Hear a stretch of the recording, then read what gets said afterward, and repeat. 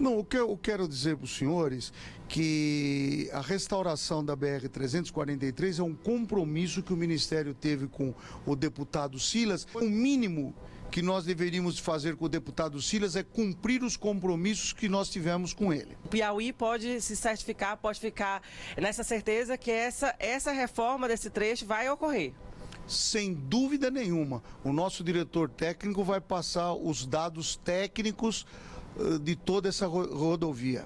É, boa tarde. É, eu queria só complementar as palavras aqui do ministro do compromisso feito com o deputado Silas e o DENIT informa que as licitações já foram concluídas do trecho é, da BR-343 é, em setembro e estamos dando um ordem de serviço a partir de agora do, do dia 23 de outubro.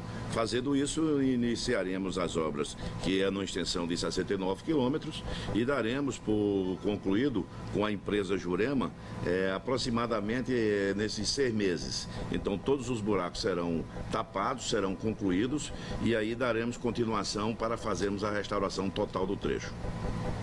Só para concluir, em seguida será feito todo o recapeamento.